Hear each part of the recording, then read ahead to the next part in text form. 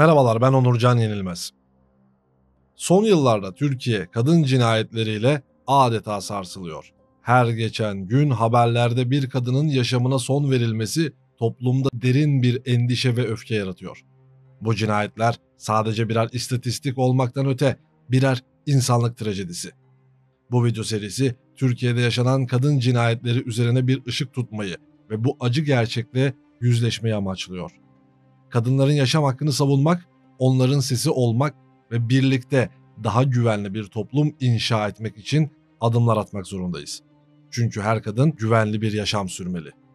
Ceren Özdemir Ceren Özdemir, Ordu'da yaşayan 20 yaşında bir bale öğrencisiydi. Önünde parlak bir gelecek vardı. Yetenekli bir genç kadın olarak tanımlanıyordu. Ailesiyle birlikte yaşadığı Ordu'da müzik ve sahne sanatları okuyordu. Hayatını kaybettiğinde henüz 3. sınıftaydı. Ceren 3 Aralık 2019'da küçük kızlara bale dersi verdiği kurstan çıkmış evine yürüyordu. Yolda annesini aramış kendisine çorba yapmasını istemişti. Ceren binanın önüne geldiğinde arkasından birisinin takip ettiğinden haberdar değildi. Kapı otomatiği çalışmayınca ablasını arayarak anahtarı aşağıya atmasını istedi. Aradan kısa bir zaman geçmiş, Ceren yukarıya çıkmamıştı. Anahtarı kendisine atan ablası haliyle Ceren'i merak edip aşağıya indi. İndiğinde gördüğü manzara şoke ediciydi. Genç kız kanlar içinde yerde yatıyordu. Ne olduğunu anlamamıştı bile. Hemen yukarıdan hemşire olan annesini çağırdı. Ama artık çok geçti. Bıçak Ceren'in kalbine saplanmıştı. Genç kızın yaşamı 20 yaşında son bulmuştu. Bir karıncayı bile incitmeye kıyamayan Ceren'e caninin birisi kıymıştı. Peki kimdi bu cani? Polisler olay yerine geldiğinde etrafta hızlıca bir soruşturma başlattı. Tabi cinayet haberi de çoktan kamuoyunun gündemine oturmuştu. Zaten kadın cinayetlerinden yorulmuş olan ülke halkı yeni bir cinayetin haberiyle kahroluyordu. Polisler kamera kayıtlarını incelemeye başladığında katilin 4 kilometre boyunca Ceren'i takip ettiği anlaşıldı. Bıçağı ilk aldığı yere kadar takip edildikten sonra şahsın Özgür Arduç isimli birisi olduğu ortaya çıktı. Arduç daha önceden işlediği bir cinayetten dolayı zaten hapisteydi. Yakın zamanda iyi halden dolayı açık cezaevine alınmış ve oradan da izin hakkını kullanarak firar etmişti. Firari olarak aranan adam dışarıya çıktığında yeni suçlar işlemek için etrafta geziyordu. Kamera kayıtlarından sonra kimliği de ortaya çıkan katil polis tarafından her yerde aranıyordu. Sonunda esnafın da yardımıyla yolda yürürken yakalandı. Yakalandığı sırada iki de polis memurunu bıçakla yaraladı. Özgür Arduç önüne gelene saldırmıştı. Sorgulama sırasında polisleri de öldürmek istediğini söyledi. Hatta daha da kötüsü eğer tabanca alabilse katliam yapmak istediğini aktardı. Katilin bir an önce yakalanması çok daha büyük şeylerin önüne geçmiş olabilirdi. Özgür yakalandıktan sonra ifadesinde Ceren'i tanımadığını söyledi. Anlattığına göre hapisten kaçtıktan sonra etrafta öldürebileceği insanlar arıyordu. Ceren'i de kendisinden güçsüz olarak görmüş ve hedef olarak belirlemişti. İlk etapta çantasını çalmak için saldırdığını söyledi. Ancak ablasının aşağıya inme sesini duyunca korkup kaçtığını anlattı. Özgür bu ifadeleri verirken hiçbir pişmanlık belirtisi göstermiyordu. Yine olsa yine yapardı. Aslında Ceren dışında başka kadınları da hedef almıştı. Onların kalabalığın içine karışmış olması sayesinde cinayete yeltenememişti. Özgür ifadelerinde yetiştirme yurdunda büyüdüğünü söyledi. Yurtta kalırken bir görevlinin kendisine işkence ettiğini ve sokaklarda öldürmek için onu aradığını söyledi. Kendisine işkence eden adamı ararken Ceren'e denk gelmişti. Tek derdi bir insan öldürmüş olmak için öldürmekti. Çıktığı mahkemede de tüm suçlarını itiraf etti. İlk başta delilik savunması yapsa da akli dengesinin yerinde olduğuna karar verildi. Yaklaşık bir ay süren duruşmalardan sonra canavarca hisle kasten öldürme suçundan ağırlaştırılmış müebbet hapis cezasına çarptırıldı. Ayrıca polisleri yaralama suçundan da 15 yıl 9 ay hapis cezası aldı. Geçtiğimiz yıl 2023'te Özgür Arduç'un yeniden açık cezaevine alındığına dair bir iddia ortaya atıldı. Ancak mevcut Adalet Bakanı iddianın gerçek olmadığını ve Özgür'ün hala Van Yüksek Güvenlikli Kapalı Ceza İnfaz Kurumu'nda cezasını çektiğini bildirdi. Azra Gülendam Haytoğlu Azra, Antalya Akdeniz Üniversitesi İletişim Fakültesinde okuyan 21 yaşında genç bir kızdı. Hayali büyük bir gazeteci olmaktı. Belki de yaşama şansı olsa gerçekleşecekti. Ama buna izin verilmedi. Azra Antalya'da ablasıyla birlikte yaşıyordu. O dönem tüm dünyayı saran pandemide sokaklarda kol geziyordu. Azra rahatsızlanıp hastaneye gittikten sonra kendisine Covid teşhisi kondu. İlk birkaç gün evde zaman geçirdikten sonra daraldığı için ablasının da izniyle yaşadığı evin dışındaki bankta hava almak için dışarıya çıktı. Saatler geceye geliyordu. Tarih 28 Temmuz 2021'di. Azra dışarıya çıktıktan sonra bir daha kendisinden haber alınamadı. Evde uyuyan ablası saat geç olup kardeşinin gelmediğini fark edince dışarıya çıktı. Azra hiçbir yerde yoktu. Hemen telefonla kardeşini aradı ve Azra'nın bir abisiyle bir kafede sohbet ettiklerini öğrendi. Ablası zaten hasta olan kızın eve dönmesini istiyordu. Kısa bir zaman sonra artık kardeşine ulaşamaz olmuştu. Sabaha kadar Azra'dan hiçbir haber alamayınca hemen Adana'da yaşayan babasını aradı.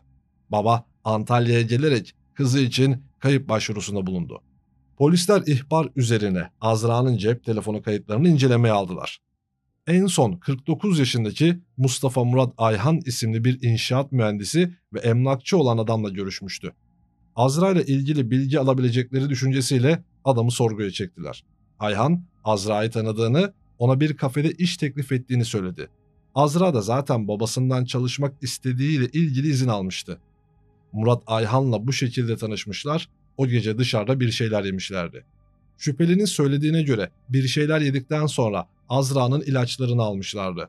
Polisler Ayhan'ı serbest bıraktıktan sonra tüm kamera kayıtlarını incelediler. Adamın söylediği doğruydu. Olay şimdiye kadar söylediği gibi gerçekleşmişti. Ancak anlatmadığı çok daha önemli detaylar vardı. Polisler Ayhan'ın içinde olduğu tüm kayıtları titizlikle incelediklerinde adamın şüpheli davranışlarını keşfettiler. Görüntülerde adam bir çantayla birkaç kez evinden çıkarken görülüyordu. Çantanın büyük ve sürekli aynı olması polislerin çok önemli bir konuda dikkatlerini çekti. Çantanın içinde Azra'nın olabileceği kanısı gittikçe ağır basıyordu.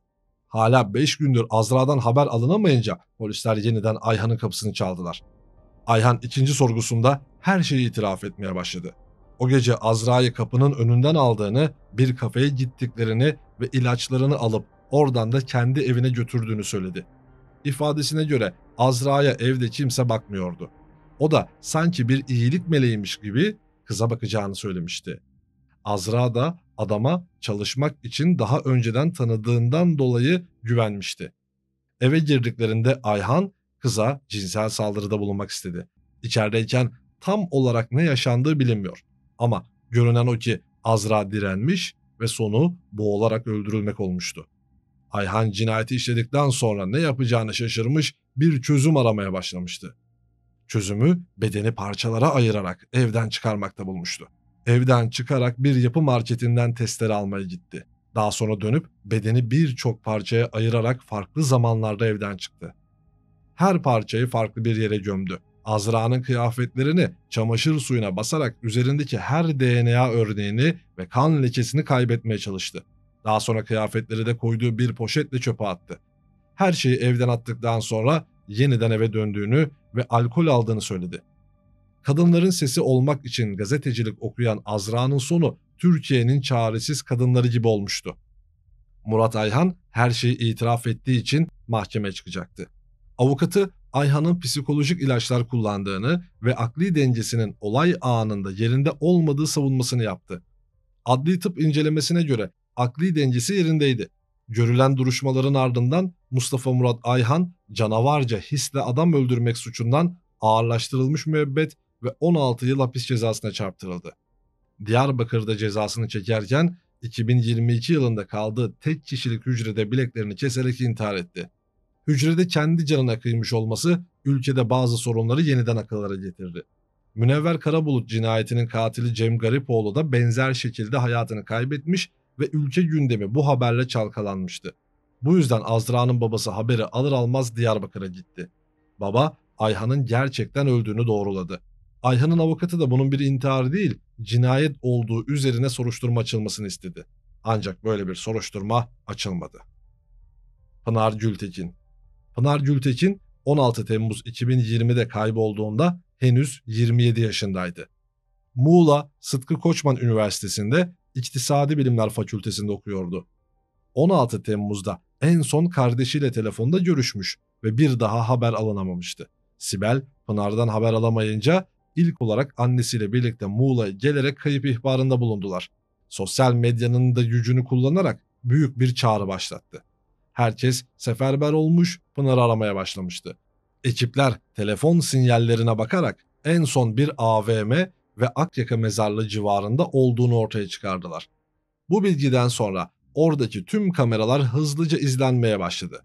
Görüntülerde AVM'de bir adamla buluştuğu anlaşıldı. Adamla ilgili detaylı bir inceleme yapılınca evli ve bir çocuk babası 32 yaşındaki Cemal Metin Avcı olduğu ortaya çıktı. Polisler adamı takip ediyorlardı ama şimdilik gözaltına almak için bir sebep yoktu. 21 Temmuz'da yani Pınar'ın kaybolmasının üzerinden 5 gün geçtikten sonra avcı şüpheli sıfatıyla polisler tarafından gözaltına alındı. Bir yandan da ekipler her yerde Pınar'ı arıyorlardı. Akyaka mezarlığı civarından telefon sinyali alındığı için o bölgede ummalı bir çalışma vardı. Avcı gözaltında tam cinayeti itiraf ettiğinde ormanlık alanda da ekipler tarafından çok önemli bir keşif bulundu.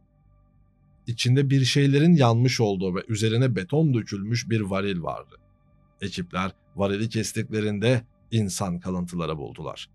Tabi bu halde teşhis etmek imkansızdı. Hemen adli tıpa gönderilerek DNA incelemesi yapıldı. Sabaha karşı bu keşif yapılırken avcı da cinayeti işlediğini, bir varile koyup önce ateşe verdiğini ve daha sonra da üzerine beton döktüğünü itiraf etti. Adli tıptan gelen bilgiler de avcının itirafını doğruladı. Peki neden böyle bir cinayet işlemişti? Pınar'la Cemal bir süredir sevgililerdi. Pınar, Cemal'in evli olduğunu öğrendiğinde ise ilişkileri bitmişti. Bunun üzerine avcı Pınar'la son kez görüşmek için ormanlık alandaki evine götürmüştü. Adli tıptan gelen bilgilere göre önce genç kızı dövmüş, daha sonra da boğarak öldürmüştü. Avcının ifadesine göre kıskançlık krizine girmişti. Daha sonra mahkemede söyleyeceği gibi cinnet geçirdiğini anlattı. Kavga sırasında yanlışlıkla öldürdüğünü ve bedenden kurtulmak için çare aradığını söyledi. Bunun için bir benzinliğe gidip pet şişeyle benzin almıştı. Polisler kamera görüntülerinde her şeyi ortaya çıkarmışlardı. Varilin fazla ağır olmasından dolayı taşıyamamış, burada bırakmıştı. Cinayetin detayları kamuoyuna yayılınca tüm Türkiye şoke olmuş ve öfke dolmuştu. Kadın cinayetlerinden yorgun olan ülke insanı artık yeni bir tanesini daha görmekten çok korkuyordu. Olaya sadece ülkeden tepkiler gelmedi. Dünyada da birçok ünlü isim konuyla ilgili kamuoyu oluşturmaya başladılar. Tüm insanlık mahkemelerin başlamasını bekliyordu. 9 Kasım 2020'de başlayan duruşmalar insanları daha da öfkelendirecekti. İlk başlarda avcı için ağırlaştırılmış müebbet hapis cezası istendi. Dava sürerken avcının verdiği ifadelerden sonra mahkeme bir anda haksız tahrik indirimi konuşmaya başladı. Avcının söylediğine göre Pınar kendisini tehdit ediyordu. İlişkilerini evli olduğu ailesine söylemek için şantaj yaptığını ve kendisinin çaresiz kaldığını anlatmıştı. Cinayetin planlayarak değil de bir anlık öfkeyle olduğu üzerine savunma yapılıyordu. Ancak Pınar'ı ormanlık alandaki bağ evine çağırmış olması aslında gerçeği de gün yüzüne çıkarıyordu. Mahkeme bu şekilde düşünmemiş olacak ki sanık hakkında haksız tarih indirimi uygulayarak 23 yıl gibi komik bir ceza verdi. Bu kadar kısa bir ceza uygulaması ülkeyi yeniden ayağa kaldırdı. Herkes sokaklarda bu cezanın kabul edilemez olduğunu aykırıyordu. Mahkemenin bu kararını değiştirecek önemli deliller sonunda Pınar'ın telefonunun şifresinin kırılmasıyla geldi. Telefonda avcıya şantaj uygulanabilecek hiçbir fotoğraf veya mesaj yoktu. Avukatların zorlamasıyla savcı değiştirilerek davalar yeniden başladı.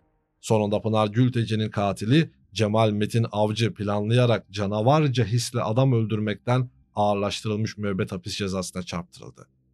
Ayrıca bedeni yok etme aşamasında kendisine yardım etme şüphesiyle kardeşi Mertcan Avcı da 4 yıl hapis cezası aldı.